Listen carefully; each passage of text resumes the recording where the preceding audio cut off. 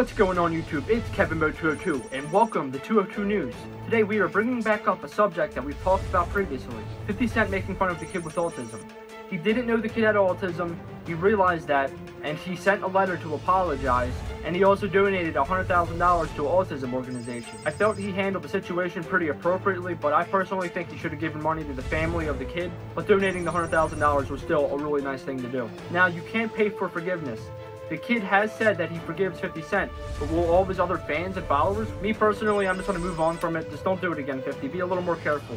Keep dissing Rick Ross and Diddy leave the autism kids alone. Still taking L50. That's it for 202 News. I hope you enjoyed today's report. And peace out, guys.